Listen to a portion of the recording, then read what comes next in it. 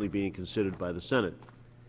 In addition, the Defense Department has made its own changes to its acquisition policy, and there have been countless recommendations made for improving acquisitions by various commissions, think tanks, and non-governmental organizations.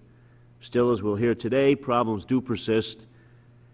On April 29, 2008, the subcommittee held a joint hearing with the full Oversight and Government Reform Committee that focused on the cost overruns and scheduling delays that persisted throughout the Department of Defense's acquisition system.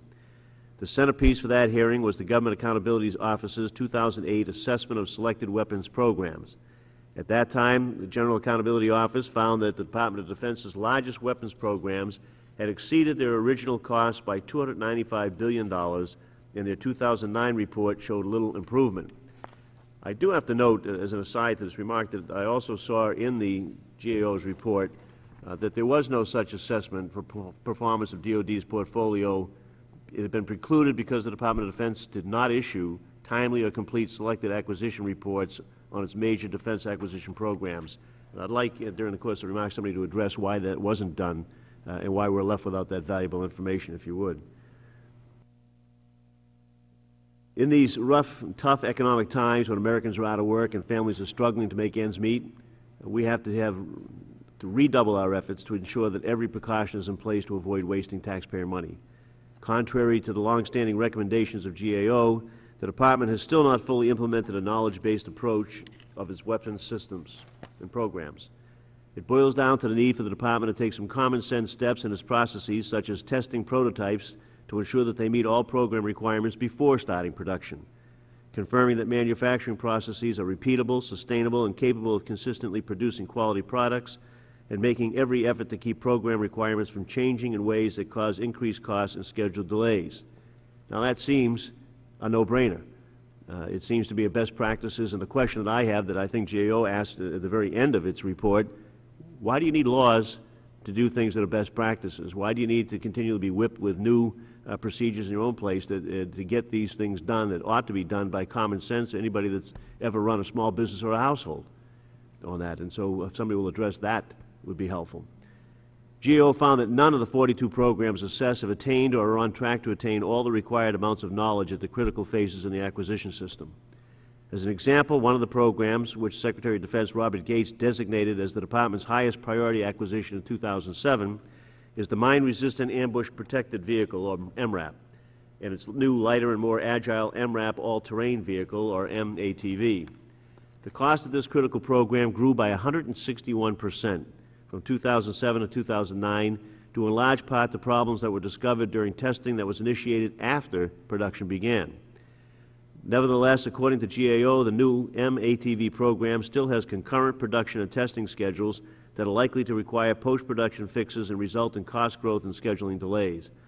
In fact, all 6,644 vehicles are scheduled to be delivered by the time developmental tests are scheduled to be completed. Well, I understand that the military has deemed this an urgent requirement. And that may be somewhat of an exception. We can talk about that.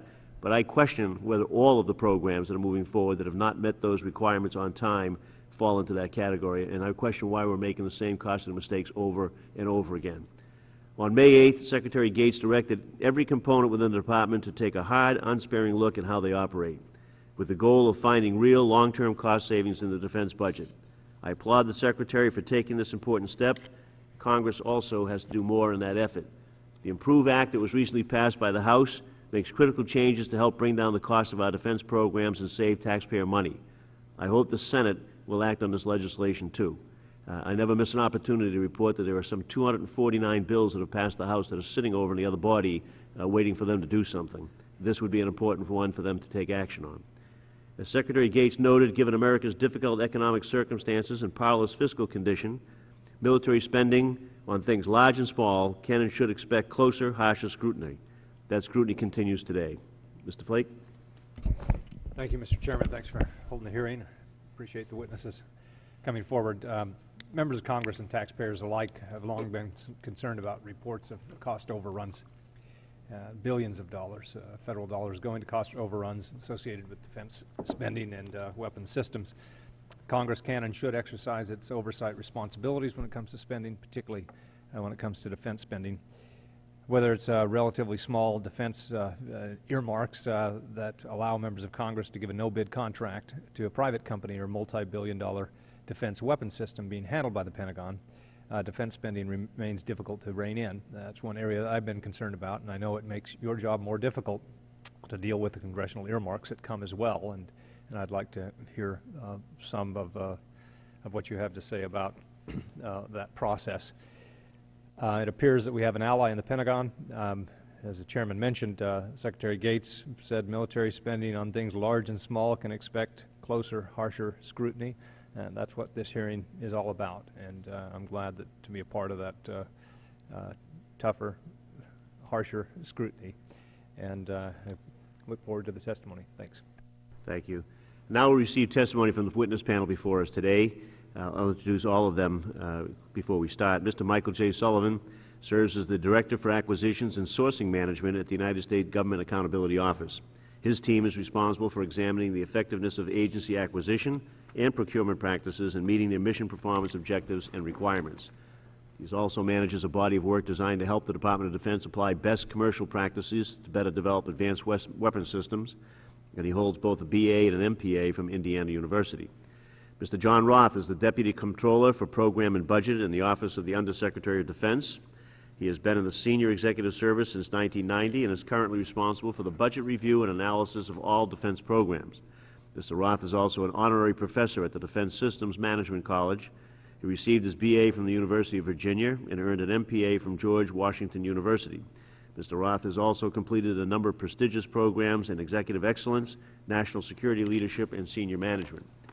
Dr. Nancy Spruill is the Director of Acquisition Resources and Analysis for the Undersecretary of Defense for Acquisition, Technology, and Logistics. In this capacity, she is responsible for all aspects of AT&L's participation in planning, programming, budgeting, and execution system, the congressional process, and the defense acquisition system.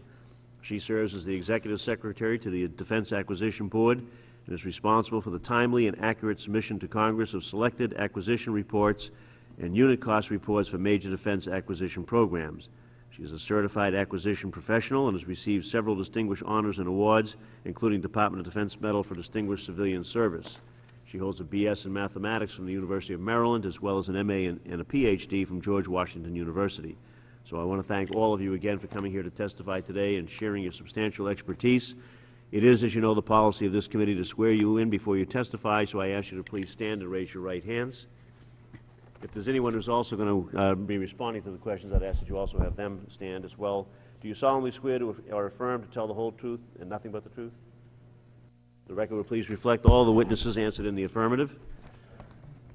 And with that, we would be pleased if Mr. Sullivan, you'd please give us your remarks of around five minutes or so, and you'd know the, the lights, you're familiar with those. Thank you. Thank you, Mr. Chairman, Ranking Member Flake, members of the subcommittee. I'm pleased to be here today to discuss the department's management of its major weapon system acquisition programs. My statement today is based on uh, the report we did on March 31st of this year that assessed uh, the portfolio of major weapon system acquisitions over at the department. And it includes observations about DoD's effort to manage its portfolio, the knowledge attained at key junctures of a subset of 42 weapon system programs that we drilled down into, and the department's implementation of recent acquisition reforms. We made two observations this year on the department's overall portfolio management. First, priorities were clearly examined uh, for this year's budget and reset. In fiscal year 2010, the Secretary of Defense proposed canceling or curtailing programs with projected total costs of at least $126 billion that he characterized as too costly or no longer relevant. Congress supported several of the recommended terminations. Second, the portfolio did grow to 102 programs in 2009, a net increase of five since December 2007, the last time we had selected acquisition reports to do that analysis. And the cost of that growth added, that growth, the additional programs added about $72 billion uh, that entered the portfolio. 13 programs, including the future combat systems, left the portfolio. Those programs took a total cost of about $179 billion with them out of the portfolio, including over $47 billion in cost growth. As you stated, Mr. Chairman, we weren't able to place a value on the overall portfolio or determine its cost growth this year due to the lack of selected acquisition reports available from the department. I think a lot of that had to do with the changeover in administration, but I'll, um, I'll, I'll let the, the department explain that, I guess. We plan to do that analysis again this year, and we've, the selected acquisition reports are back in place, so we do have those. Um, Some observations from our assessment of knowledge on the 42 programs that we drilled down into and looked at. At the program level, there's still kind of a mixed picture. While program knowledge is increasing, and we've found that for the last couple of years now, none of the 42 programs we assessed have attained all of the requisite amounts of knowledge that are needed at key junctures in the program to keep risk in place. Our analysis allows us to make the following observations. First, the newer programs in the portfolio are beginning with higher levels of technology maturity, and this is a very good sign. Um, But they are not yet benefiting from a lot of the early systems engineering reviews uh, that, for example, the legislation that just passed will bring in and what the department has brought in in their own policies. We haven't seen that taking place yet. We hope to see improvement as that does come in, get a better match between uh, capabilities that are needed and the resources available. Second, programs that have held critical design reviews, which is more or less the second juncture in a program where you need to re- reduce risk uh, for systems integration. Uh, In recent years, those programs have reported higher levels of design knowledge, usually in the way of releasable design engineering drawings. However, few are using prototypes to ensure, ensure design stability, and again, that was uh, a facet of the acquisition reform legislation that we hope would pick up. Um, Third, most programs still rely on after-the-fact metrics to get manufacturing processes in control before they go to production. That's something that we think should be done with statistical process control and other ways. They should be able to get those processes in control much sooner than they do. Um, uh, Fourth, most programs continue to change key system requirements after programs start. The department has put a lot of policy in place, and the acquisition reform legislation addresses this too, and we'd like to see that improve in the future. Many programs continue to struggle with software development. It's a huge issue on these complex weapon systems, and they, they continue to have problems. And we have found that uh, many programs, program offices that manage these weapon systems uh, rely on non-government personnel um, more than they used to, and that reliance seems to be increasing. That's something we want to keep our eye on. And I'd like to make some observations about how DOD is implementing the reforms. As you know, it's still relatively early, just under a year since they went into effect. Both DOD's December 2008 acquisition policy revisions and the Weapons Systems Acquisition Reform Act of 2009 require programs to invest more time and resources in the front end of the acquisition process when programs are just beginning or actually even before they begin. Uh, and they doing this to refine concepts through early systems engineering, developing technologies so that they're more mature, and building more prototypes of both systems and sub- subsystems before system development actually starts. We made two observations concerning how well the department is implementing uh, the reforms. First, the department is incorporating acquisition reforms into the newer acquisition programs. In fact, 10, eight of the 10 programs that uh, were new in our 2010 assessment that had not yet entered system development, which is the milestone B, which is really where an acquisition program begins, reported that they either have or have plans to hold the very important early system engineering reviews uh, prior uh, to the to the milestone B decision. This is consistent with both DoD's policy and uh, the reform legislation. Second, the department has established the new position of the Director of Cost Assessment and Program Evaluation. And this group uh, is already up and running and has already weighed in on a number of programs, some new programs in order to get more realistic cost estimates, and other programs that have been in trouble, including the Joint Strike Fighter program, uh, which just went through, uh, you know, a drastic kind of a budget scrub. And, and I think that this, this new position, the, the CAPE, did a, did a pretty nice job in, in uh, defining the risks on that program. And I believe that we're, we're seeing signs of that that uh, new position um, resulting in more reasonable cost estimates.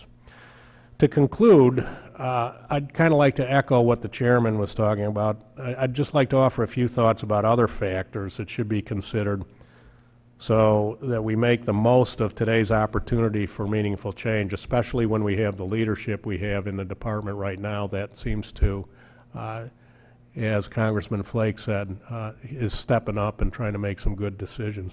First, poor outcomes on these programs, delays, cost growth, reduced quantities, have been persistent for decades, and everybody has known about it. If we think of these processes as merely broken, then some of the targeted repairs that we have in this reform legislation should fix them. I think the challenge is greater than that, and if we understand that current inefficiencies are, right now, they're kind of accepted as a cost of doing business, then the challenge for getting better outcomes is greater. It really becomes much more leadership uh, oriented than anything else. Seen in this light, it'll take considerable and sustained leadership and effort to change the incentives and inertia that reinforce this status quo. And I think the Congress has a role in that as well. Uh, Second, while actions taken and proposed by the Department and Congress are constructive and will serve to improve acquisition outcomes, one has to ask the question why extraordinary actions are needed to force practices that are, should occur normally. I think just as uh, the chairman stated, clearly more independence, methodological rigor that we're now beginning to get from the CAPE, and better information about risk areas like technology will make estimates more realistic. On the other hand, realism is comprised, is compromised as the competition for funding within the Pentagon encourages programs to make themselves appear affordable. Reform must recognize and counteract these pressures as well. Finally, if reform is to succeed, then programs that present realistic strategies and resource estimates must succeed in winning approval and funding over those that present potential capabilities for unrealistic costs. And this will take a firm cooperative effort between the Department and the Congress. Mr. Chairman, this completes my statement. I'll be happy to respond to any questions. Well, thank you, Mr. Sullivan. I I want to, again, congratulate you and your team for the work on that, how helpful it is to all of us. Thank Uh, you. Mr. Roth, unfortunately, he used your five minutes as well, so we're going to skip over you. No, I'm only kidding. We do want to hear from you as well, and uh, so I appreciate your comments now. Thank you, Mr. Chairman. Chairman Tierney, Ranking Member Flake, uh, members of the committee, thank you for this opportunity to participate in this hearing and for your continued support of America's armed forces. I am here today representing the Office of the Comptroller and the annual budget process in the Department of Defense. The budgets we develop for congressional consideration each year include the amounts requested for these acquisition programs. As a result, our office has, in fact, you know, considerable interest in acquisition reform, which is in the subject of today's hearing. Uh, We are currently executing the FY10 budget. We're working with Congress on our FY 2011 budget request, and we've begun internally working already on the budget for fiscal year 12. So it's clearly an overlapping and complex process that we are trying to manage as, as best we can. As we proceed, we have been directed by Secretary Gates, as has already been quoted, to take an unsparing look at how the department operates. In his recent speech, the Secretary explained, the goal is to cut overhead costs and to transfer those savings to force structure and modernization within the program budget. In other words, to convert sufficient tail to tooth to provide the equivalent of roughly 2 to 3 percent real growth, resources needed to sustain our combat power at a time of war and to make investments to prepare for an uncertain future. This policy builds on the progress that has already been made over the past couple of years, including the initiatives, initiatives with significant impact on defense spending. First, it builds on the department's progress in acquisition reform, which we'll discuss this morning, including the creation of the Office of Cost Assessment and Program Evaluation, as well as in the implementation of the Defense Acquisition Workforce Development Fund. Through March 31st of this year, almost half the amount appropriated for this working capital fund is nearly 400 million has been obligated and over 3,000 new workforce development funded employees have been brought on board. This is a critical first step in strengthening the in-house acquisition workforce. Hiring projections for the remainder of fiscal year 10 are on track to meet the department's targets. The FY 2011 budget builds on this by including another $218 million for this workforce development fund. Acquisition workforce development is part of a much larger effort to reduce the department's reliance on contractors by insourcing what is considered to be essential government work. The goal is to reduce contractors from the recent high of 39% of the DoD workforce back to 26%, the level that existed before 2001. Second, in addition to the department's progress in acquisition reform, the budget request for fiscal year 2011 takes account of the savings generated by canceling programs that were deemed to be underperforming or over budget.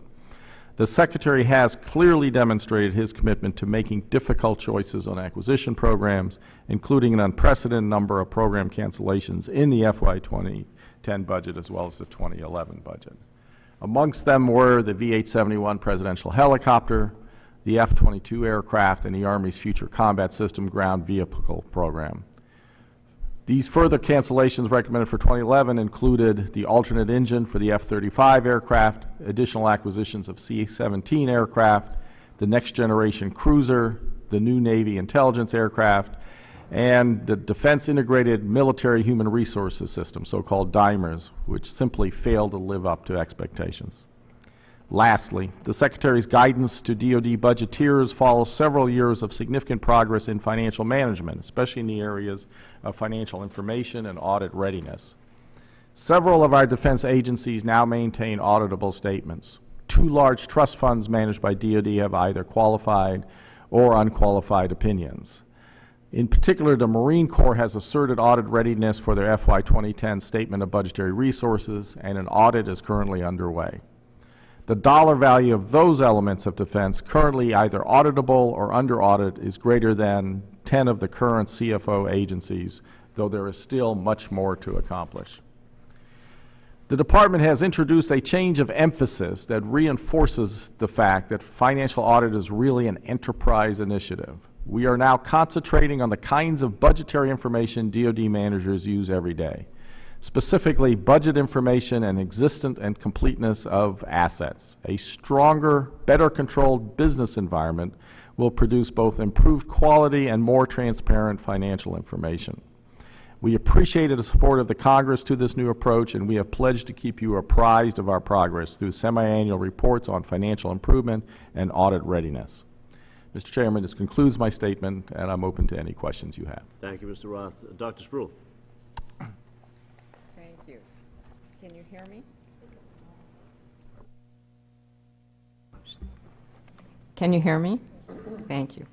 Uh, Chairman Tierney, Ranking Member Flake, and other distinguished members of the subcommittee, um, I'm honored to be here today.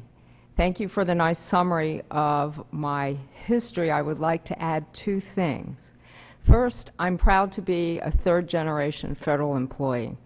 My grandfather worked at the Bureau of Engraving and Printing, and my father spent his career at the Federal Reserve. And I'm glad to um, follow in those footsteps. I'm also, uh, additional thing that I do for AT&L is that I provide authoritative data and analysis in support of the oversight of the acquisition programs. I'm pleased to come and talk today about defense acquisitions and discuss the broad trends, incentives, and challenges present in the Defense Department's current acquisition system for major weapons programs. For the past several years, the Department has been making changes to improve the acquisition process. Changes such as putting increased emphasis on the front end of the process. That means starting programs right, making and using material development decisions at program initiation, conducting preliminary design reviews before Milestone B, budgeting to independent cost estimates, requiring competitive prototyping, implementing configuration steering boards, establishing program management agreements, and completing independent program reviews. We have made support to the warfighter our highest priority, and we are increasing and improving the acquisition workforce. The Department has initiated many improvements to the defense acquisition system just since the enactment of the Weapons Systems Acquisition Reform Act of 2009 in the areas of system engineering, developmental test and evaluation, technology maturity, and cost estimation, with the goal of reestablishing a culture of acquisition excellence in the Department of Defense. The Department is committed to making trade-offs among cost, schedule, and performance to significantly reduce cost growth in major defense acquisition programs. The procedural and organizational changes required by WSARA complemented and reinforced many of the Department's recent policy changes, as Mr. Sullivan mentioned. The Department strongly supports and is aggressively implementing the WSARA recommendation requirements and will continue to seek additional ways to improve the effectiveness of our weapons systems process. As you mentioned, another important piece of the legislation is the Improve Acquisition Act, currently under debate.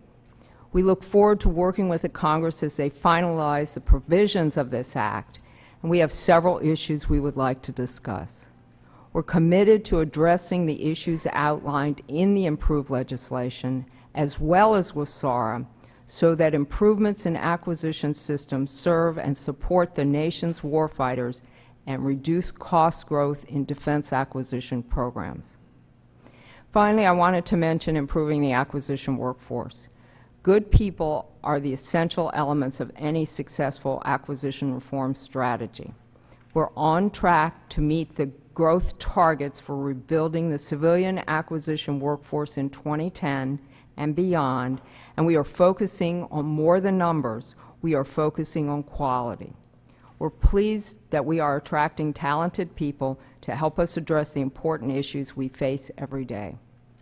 We look forward to working with the Congress as we develop an acquisition system that delivers value to the taxpayer and is responsive to the 21st century operating environment. Thank you for the opportunity to appear before you today.